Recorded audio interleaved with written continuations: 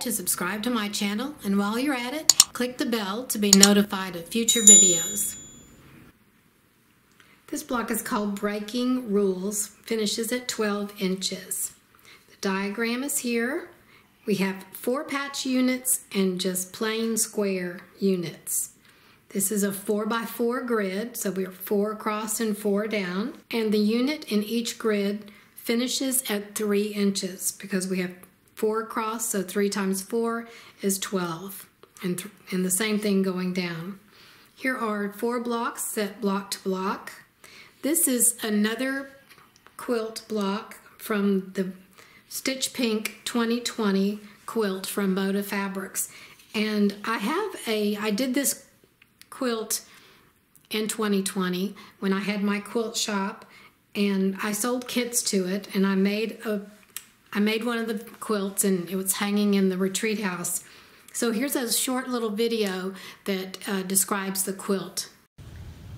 This is the Stitch Pink quilt designed by Moda Fabrics using um, fabrics from the Grunge collection. And there are 30 blocks 30 12 inch blocks in the quilt.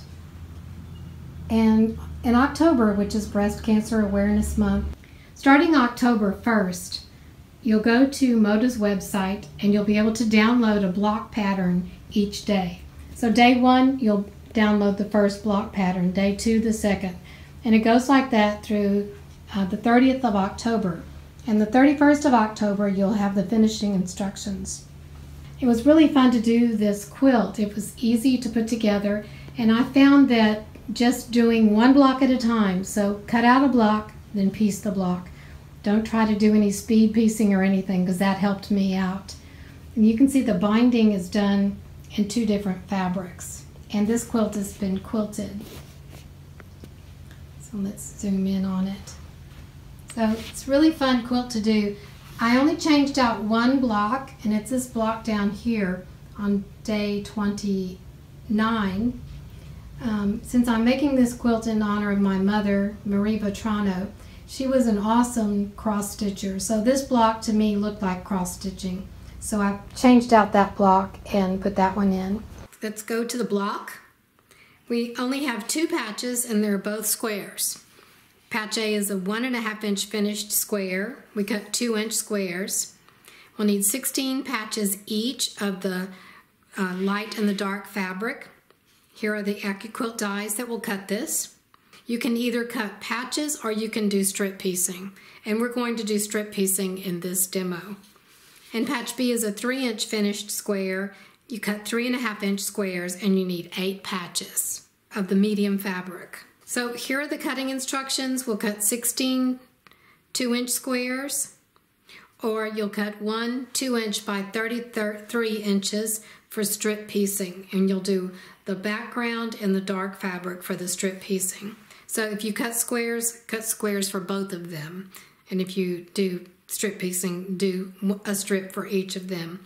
And then the eight three and a half inch squares. Here are the fabrics I've chosen. I'm doing strip piecing for the four patch units and I have, I had a fat quarter I believe or just some scraps. I have two strips instead of one strip uh, of the background and the dark fabric. So we'll just take the fabrics and put them together, right sides together, stitch along the length, and press the seams open. Here are my two strip sets done. You might have one long one. I always laid on the cutting mat and lay against one of the lines to check to make sure that it's straight. If it's a little curvy, then take it back to the ironing board and maybe give it a little more starch or something and kind of wiggle it around until it, it's pretty straight. So what I'm going to do is stack these slightly. I'm not going to stack over any seam lines.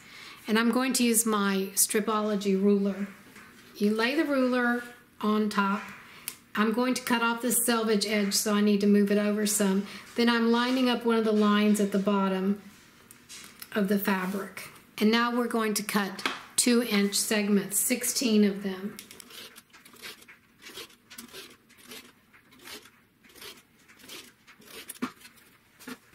Now we take off the selvage edges. And so now we have our, our 16 segments. We're going to take two of these and sew them together like this into a four patch and then you'll have eight four patch units. Now we just look at our diagram and take our four patches and our plain squares and lay out the block.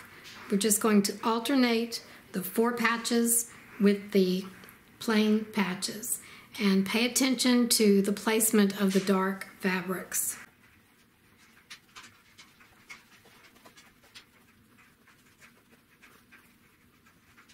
Now you have four rows and four units in each row. So stitch the first row together, second, third, and fourth, press your seams, and then stitch your rows together.